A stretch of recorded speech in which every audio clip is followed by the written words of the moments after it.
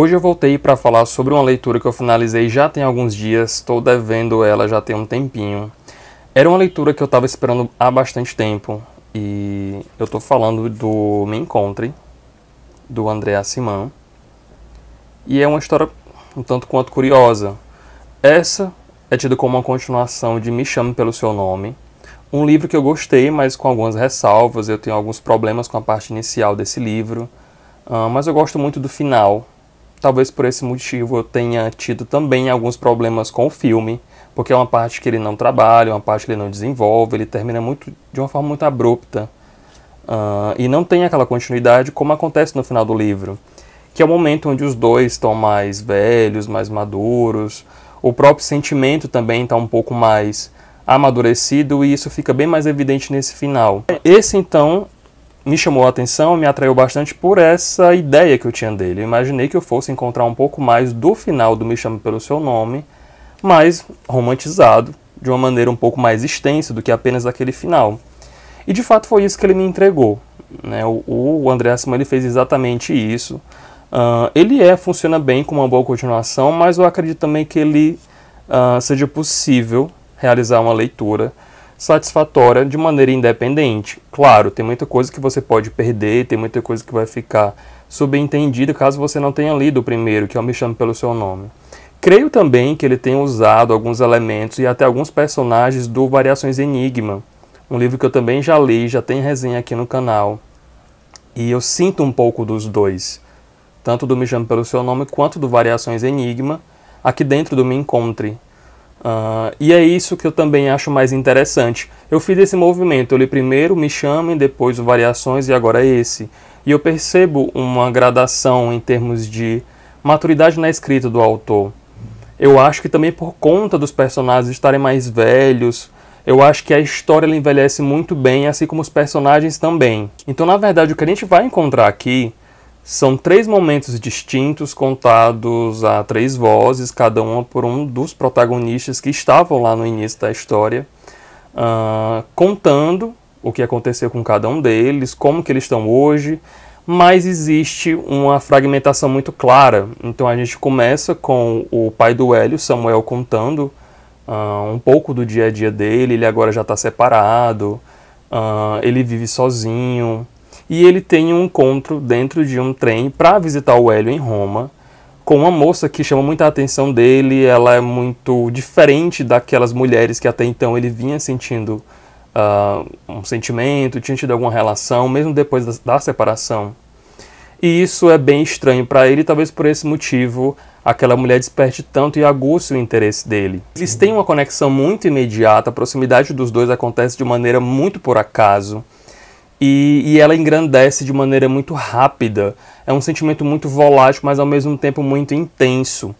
Então eu acredito que dessa maneira, uh, eu acredito que inclusive tenha acontecido uma espécie de troca ou inversão de papéis, porque a relação que é descrita na parte do Samuel uh, dentro desse livro, ela é muito intempestiva, ela é muito impulsiva, quase que adolescente, porque eles lidam muito com essa sensação do agora, uh, do momento, daquilo que é pueril em termos de sentimento, mas ao mesmo tempo não deixa de ser forte, não deixa de ser intenso. Uh, ele cai de cabeça em cima daquilo tudo, ele se abraça com aquela ideia, com aquela proposta que aquela moça traz para ele, uh, proposta de vida até, e, e ele leva aquilo para si. Coisa que não acontece, por exemplo, na segunda parte, que é do Hélio.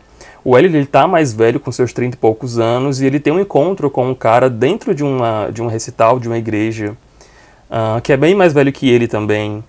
E a gente percebe que esse contato que ele tem com esse cara, ele se dá de maneira muito mais lenta, é muito mais é, do dia a dia, do segundo encontro, do terceiro. Então, ao contrário do que acontece com o pai, não é um sentimento que acontece de uma hora para outra, porque é praticamente isso que o Samuel é, tem com essa moça que ele encontra no trem. Já o Hélio não. Uh, a gente percebe que tem um investimento afetivo, tem um investimento que dura ali algumas semanas e até meses. Uh, e é dessa forma que é construída a relação dele. Então é um encontro, é uma relação muito mais madura, muito mais longa, muito mais consumida ali aos poucos e aquilo passa para a gente dessa forma. O autor ele traz para a gente então um Hélio bem diferente do primeiro contato que a gente teve lá no Me Chame uh, e isso me deixa bem uh, satisfeito em termos de expectativa com relação ao personagem do Hélio. É uma história bem interessante, é muito bem amarradinha, uh, parece até um conto também, né, com seu início, meio e final, é, um tanto quanto bem delimitados.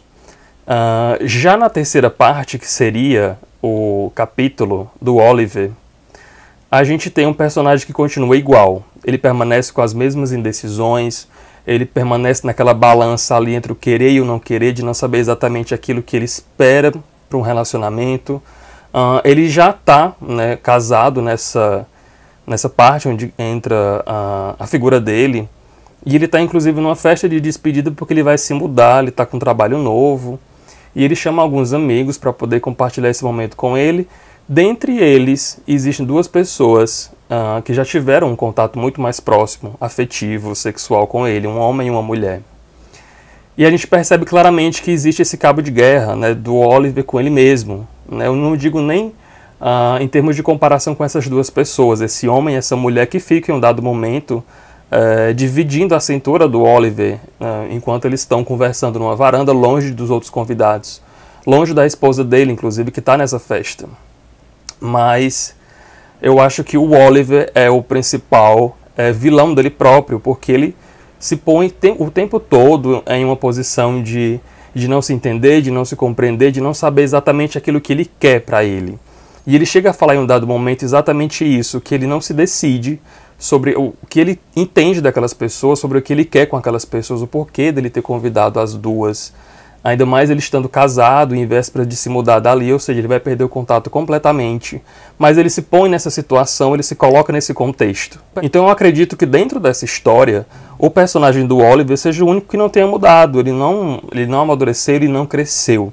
A história como um todo, sim, ela toma um outro volume, ela confere ali uma nova roupagem para tudo o que aconteceu até então uh, desde aquilo que não foi contado até o momento em que inicia essa história, mas ele permanece o mesmo, as mesmas indecisões.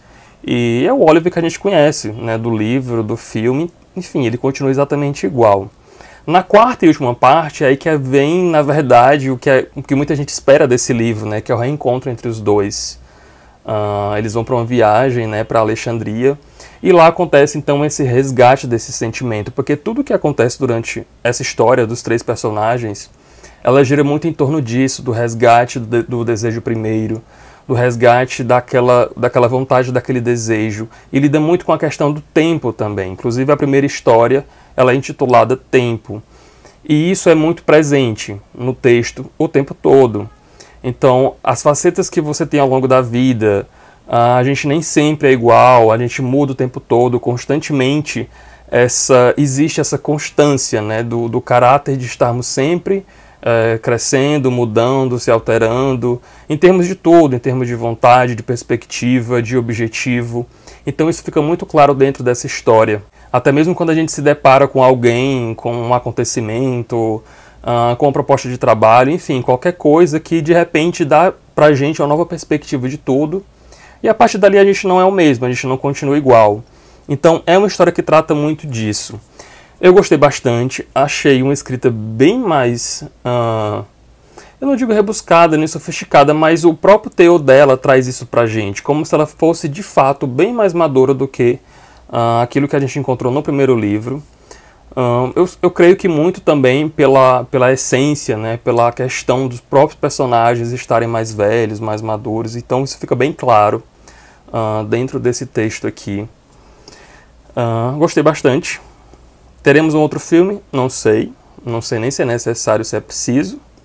Mas uh, pode-se esperar que sim. Né? Isso acabou atraindo muita repercussão, ganhou o roteiro, o Oscar de melhor roteiro, então possivelmente é, possamos ter uma continuação de Me Chame Pelo Seu Nome, ou seja, uma adaptação de Me Encontre é, nos cinemas, mas recomendo demais, uma leitura que eu gostei bastante de fazer, inclusive eu fiz em é, com leitura conjunta com James Thiago, Vou deixar o arroba dele lá embaixo, para quem tiver interesse. Uh, me deixa lá nos comentários se você já leu essa obra, o que, é que você achou, uh, se você recomenda outras coisas similares que lhe lembram esse conteúdo. Eu realmente tenho muito interesse por esse tipo de literatura, então me recomenda lá nas mensagens dos comentários. Avalie o vídeo, rede social está lá embaixo no box da descrição. Obrigado por ter assistido e até mais.